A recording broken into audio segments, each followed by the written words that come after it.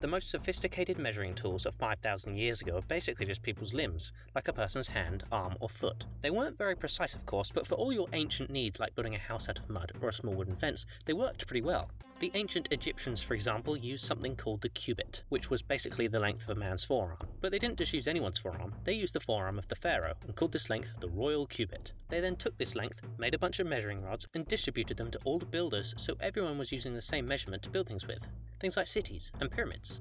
Over the next 5,000 years, various other civilizations came up with all sorts of unique units of weights and measures. They tended to be based on pretty arbitrary metrics, like farming and the human body. Like the yard, for example, was originally the length around a man's waist, or the pound, originally called the libra, was initially defined as exactly 5,076 English grains. The mile was defined as 1,000 paces of a Roman soldier, the gallon was equal to the volume of 8 pounds of wheat, the acre was the area that could be ploughed by a farmer in a single day, and the foot was the length of a foot. To make things even more confusing, laws around weights and measures varied from city to city, so you could be using one unit in one place, go a little ways down the road, and that same unit could be a completely different value. In France alone, there were 800 different units of measurement, and each one of those had hundreds of versions from place to place, meaning there were a total of 250,000 uniquely different units in just France. Measurement across Europe was a complete mess. That was until a tiny little thing called the French Revolution. At this time, the French were obsessed with two things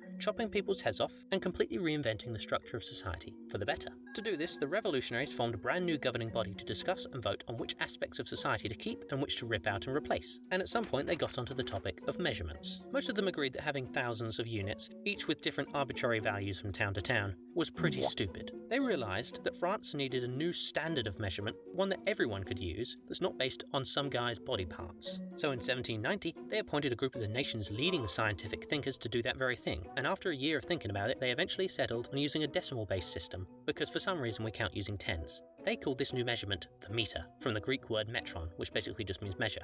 They defined the meter as exactly one ten millionth of this distance right here from the North Pole to the equator. The issue was that they didn't know what this giant distance was. They had an idea, but it wasn't very accurate. They needed a precise measurement. And that's where these two guys come in Pierre Méchain and Jean Baptiste Delambre. They were tasked with working out a shorter distance from the top to the bottom of France along a line cutting right through Paris. This measurement, along with some trigonometry, could then be used to calculate the full distance from the North Pole to the equator. They had this fancy tool called a repeating circle to measure the angle between two points. They used this to construct a zigzaggy line from the top to the bottom of France using a method known as triangulation.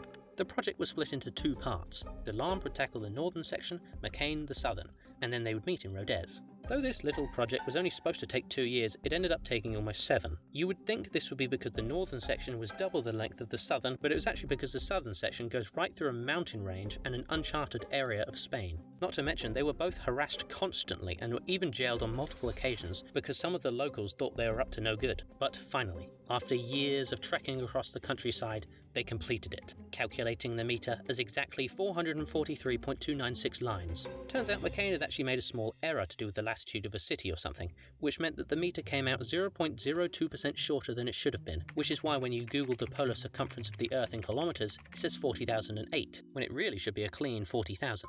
Méchain ended up not telling anybody this, as he thought public opinion around the adoption of the metric system was already super shaky, so this brand new, though slightly incorrect measurement was then used to calculate the value for the kilogram. 1 kilo being equal to the mass of a cube of water with side lengths of 10 centimetres. Both of these metrics were then made into platinum prototypes and chucked into the French National Archives, and in December of that year, France made the metric system the sole system of weights and measures by law. The people of France still kind of wanted to use their local measurements, but eventually almost everyone moved to metric. A couple years later, in 1814, Portugal liked the idea of the metric system so much they adopted it too. Then so did the Netherlands, Belgium, Luxembourg, Switzerland, Spain, Italy, Romania, Germany, and soon, thanks to our good friend colonialism, these European powers took the metric system global, and one by one, countries all across the world began adopting this new system as their system. But there was an issue. As more countries adopted the meter, it became clear that it wasn't as perfect as people first thought. When these countries adopted the system, they also purchased standard meter bars that were intended to be equal in length to the prototype meter in the French National Archives. The trouble was that these bars were prone to wear and tear over time, especially on the ends, meaning from place to place, the standard meter could be slightly different, which is exactly what they were trying to get away from. So it was then proposed that a new international standard meter be created, and in 1975 some countries got together, signed a treaty, and created the International Bureau of Weights and Measures to maintain a new global standard. This time they made the bar a little bigger and marked two lines at either end, and the distance between those two lines was to be the new meter, thereby avoiding any potential wear and tear on the ends. It was perfect, and everyone lived happily ever after. That was until 1960 when they decided to change everything again. Basically, the International Bureau of Weights and Measures had this idea, a vision for a single practical system of units of measurement that could be used by the scientific, technical, and educational communities alike, consisting of six base units the meter for length, the kilogram for mass, the second for time, the ampere for electric current, the degree Kelvin for temperature, and the candela for light intensity. They called it the International System of Units, or SI for short. They also really hated the idea of physical standards, like the meter bar and the kilogram weight, and sought to somehow peg all these units to constants.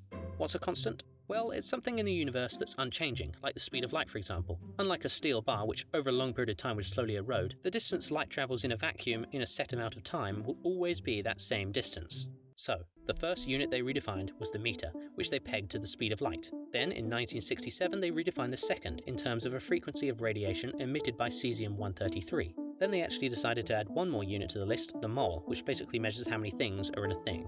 The meter was then re-redefined in 1975 because they discovered a better, more convenient way of doing it, calculating the meter as exactly the distance light travels in 299,792,458 of a second. Then in 1979 they redefined the candela, and quite a bit later in 2019 the final four, the kilogram, Kelvin, ampere and mole, were all pegged to constants. Finally, SI was complete, a perfect system of seven base units, all pegged to fundamentals of the universe. Truly the holy grail of measurement. Pretty much the entire scientific world uses this system, as well as a lot of the professional world. But for the common folk, there are still a couple countries yet to fully go metric, and some that say they're metric but really cling to their old imperial beliefs.